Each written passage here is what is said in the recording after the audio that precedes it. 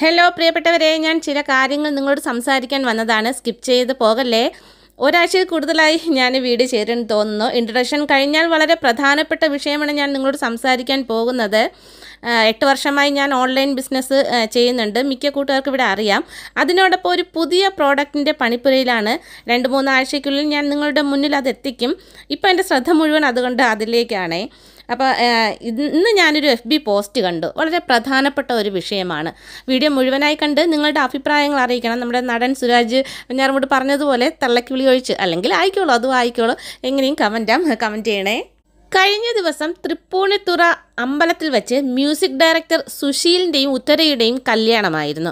ഒരുപാട് പ്രഗത്ഭരായ ആളുകളൊക്കെ വന്നു. ജയറാം ഫഹദ് ഫാസിൽ നസ്രിയ ഒക്കെ എത്തി. ജയറാം വന്നതിൽ ആർക്കും പ്രശ്നമില്ല. പക്ഷേ ഫഹദ് നസ്രിയ ഇവർ വന്നതിൽ ചിലർക്ക് ദഹിച്ചില്ല. അവർ മുസ്ലിമാണ്.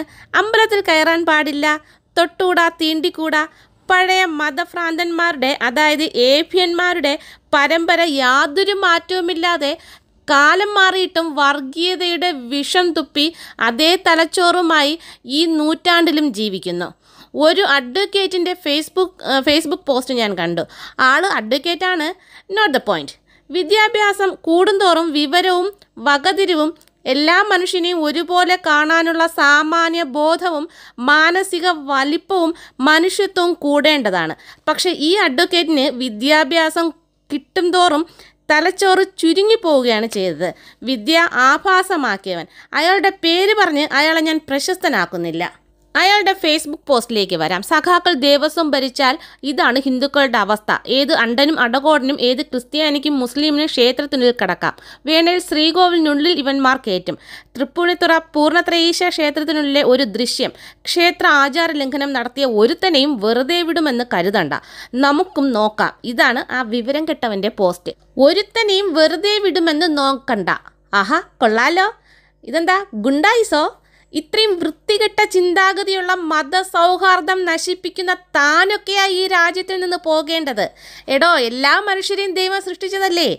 അതോ ഈ ഭൂമിയിലെ മുഴുവൻ രാജ്യങ്ങളിലെ കോടിക്കണക്കിന് ജനങ്ങൾ ഇന്ത്യയിലെ കുറച്ച് ഹിന്ദുക്കളെ മാത്രമാണോ ദൈവം സൃഷ്ടിച്ചത്? മറ്റ് മനുഷ്യരെ ദൈവം തവിട് കൊടുത്ത് വാങ്ങിയതാണോ? എന്ത് വാടേ ഇത്? എന്ത് വാ ഇത്? ഞാൻ പല മതഗ്രന്ഥങ്ങളും വായിച്ചിട്ടുണ്ട്. അതിൽ നിന്ന് എനിക്ക് മനസ്സിലായത് എല്ലാ മതഗ്രന്ഥങ്ങളിലും നല്ല കാര്യങ്ങൾ ഒരുപോലെ തന്നെയാണ് എഴുതിയിട്ടുള്ളത്. നൂറ്റാണ്ടുകൾക്ക് മുമ്പ് എഴുതപ്പെട്ട ഗ്രന്ഥങ്ങളായതുകൊണ്ട് അന്ന് നിലനിന്നിരുന്ന സാമൂഹിക കാര്യങ്ങൾ ചേർത്ത് എഴുതപ്പെട്ട ആ കാര്യങ്ങൾ ഇന്നത്തെ കാലത്ത് യോജിക്കാനാവില്ല നമുക്ക്. അതായത് തെറ്റായ കാര്യങ്ങളും നല്ല കാര്യങ്ങളും എല്ലാ മതഗ്രന്ഥങ്ങളിലും ഉണ്ട്. നമ്മൾ ചെയ്യേണ്ടത് അതായത് പഴയ നൂറ്റാണ്ടിലെ സാമൂഹിക സ്ഥിതിയിൽ എഴുതപ്പെട്ടതായതുകൊണ്ട് ആധുനിക മനുഷ്യർ ചെയ്യേണ്ടത് മതഗ്രന്ഥങ്ങളിലെ നല്ല കാര്യങ്ങൾ മാത്രം ഉൾക്കൊള്ളുക അനുസരിക്കുക എന്നതാണ്. എഫ് ബി പോസ്റ്റ് മുതലാളിയായ അഡ്വക്കേറ്റ് യഥാർത്ഥത്തിൽ ദൈവവിശ്വാസിയല്ല ചെകുത്താനാണ് പിശാജിന്റെ ചിന്താഗതിയാണ്. മനുഷ്യരെ മതവും ജാതിയും ഒക്കെ പറഞ്ഞ് തമ്മിലടിപ്പിക്കുന്നവൻ. അത് പിശാചല്ലാതെ ദൈവമാകുന്നതെങ്ങനെ ദൈവം എന്നത് സ്നേഹമാണ് ശാന്തതയും കരുണയും ദയയും മാത്രമേ ദൈവത്തിൽ കാണാൻ കഴിയൂ. ഒരു യഥാർത്ഥ ദൈവവിശ്വാസി ഭൂമിയിലെ എല്ലാ മനുഷ്യനുൾപ്പെടെ എല്ലാ ജീവജാലങ്ങളെയും ഒരുപോലെ സ്നേഹിക്കും. യഥാർത്ഥ ദൈവവിശ്വാസി ശാന്തതയുള്ളയാളും കരുണയും ദയയും സമാധാനവുമുള്ള വ്യക്തിയുമായിരിക്കും. ഒരുത്തനെയും വെറുതെ വിടില്ല എന്നൊക്കെ പറഞ്ഞ് വെല്ലുവിളിക്കുന്ന മനുഷ്യരെ മനുഷ്യരെ വേർതിരിച്ച് കാണുന്ന തമ്മിലടിപ്പിക്കുന്ന നീ യഥാർത്ഥ ഹിന്ദുവാണോ? പ്രപഞ്ച സൃഷ്ടാവ് തന്റെ സൃഷ്ടിയായ മനുഷ്യരെയും മറ്റ് ജീവജാലങ്ങളെയും വേർതിരിവോടെ കാണില്ല. ക്ഷേത്രത്തിൽ എന്നെയും നിങ്ങളെയും സൃഷ്ടിച്ച സൃഷ്ടാവ് അതായത് ദൈവമല്ലേ അവിടെ ഇരിക്കുന്ന ക്ഷേത്രത്തിൽ തന്റെ സൃഷ്ടികൾ തന്റെ അടുത്ത് വരരുതെന്ന് ദൈവം പറയുമോ? പഴയ വിവരമില്ലാത്ത മനുഷ്യരുണ്ടാക്കിയ കുറേ വിവരം കെട്ട ആചാരങ്ങൾ വിദ്യാഭ്യാസം കൂടിയ ചൊവ്വയിൽ വരെ എത്തിയ സാങ്കേതിക വിദ്യയുള്ള കാലഘട്ടത്ത് പഴയ പല നിയമങ്ങളെയും പൊളിച്ചെഴുതേണ്ട കാലം അതിക്രമിച്ചു. ലോകവും സാങ്കേതിക വിദ്യയും മുന്നോട്ട് കുതിക്കുമ്പോൾ മനുഷ്യർ തലച്ചോറ് ചുരുക്കി പഴയ ശിലായുഗത്തിലേക്ക് യാത്ര ചെയ്യുകയാണ്.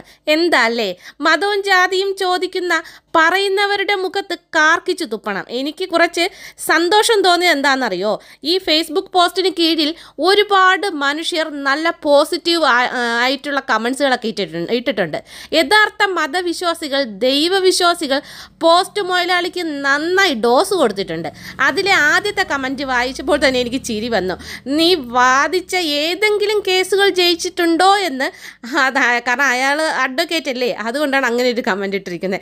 ഏതെങ്കിലും കേസ് നീ വാദിച്ചത് ജയിച്ചിട്ടുണ്ടോ? എന്ന്.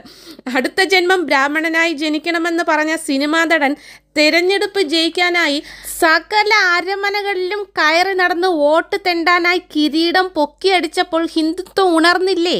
അടിപൊളി കമന്റ് അല്ലേ? ഈ കമന്റ് ആളിന് ഞാൻ ആ ആളിന് ഞാൻ അഭിനന്ദിക്കുന്നു.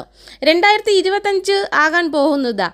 തലയ്ക്ക് ഇതുവരെയും തലയ്ക്ക് വെളിവ് വന്നിട്ടില്ല ഇവറ്റകൾക്ക് വർഗീയ വിഷം തുപ്പുന്ന വൃത്തികെട്ടവനോട് ഇങ്ങനെയാണ് ചോദിക്കേണ്ടത്. വോട്ട് തണ്ടാനും കാര്യസാധ്യതനും ഹിന്ദു ഉണരില്ല. നല്ലവരായ ബോധമുള്ള ഹിന്ദുക്കളുണ്ട് കേട്ടോ. ഇവിടെ അവരെ അല്ല ഞാൻ ഈ പറയുന്നത്. വർഗീയ വിഷം തുപ്പുന്നവർ അരി ആഹാരം കഴിക്കുന്നുണ്ടോ? അത് ഹിന്ദു മാത്രമാണോ ഈ അരിയും പച്ചക്കറിയും ഒക്കെ ഉണ്ടാക്കിയത്? അസുഖം വരുമ്പോൾ അണ്ണാക്കിൽ തിരുകുന്ന മരുന്നുകൾ ഹിന്ദുക്കൾ മാത്രമാണോ ഉണ്ടാക്കിയത്? അപകടം പറ്റി ഗുരുതരാവസ്ഥയിൽ കിടക്കുമ്പോൾ ജീവൻ രക്ഷിക്കാൻ രക്തം അടയ്ക്കണമെന്ന് ഡോക്ടർമാർ പറയുമ്പോൾ ഹിന്ദുവിന്റെ രക്തമാണെങ്കിൽ മതിയെന്ന് മരണത്തോട് മല്ലിടുമ്പോൾ പറയുമോ വിവരം കെട്ട അഡ്വക്കേറ്റേ വർഗീയവാദികളെ നല്ലവരായ നമ്മുടെ ഹിന്ദു സഹോദരങ്ങളും എല്ലാ പ്രിയപ്പെട്ടവരും ഇക്കാര്യങ്ങൾ ഇക്കാര്യങ്ങളെക്കുറിച്ച് നന്നായി ഒന്ന് ചിന്തിച്ചു നോക്കൂ. അഭിപ്രായങ്ങൾ കമന്റ് ചെയ്യൂ ലൈക്ക് ചെയ്യൂ സബ്സ്ക്രൈബ് ചെയ്യാത്ത പ്രിയപ്പെട്ടവർ സബ്സ്ക്രൈബ് ചെയ്യൂ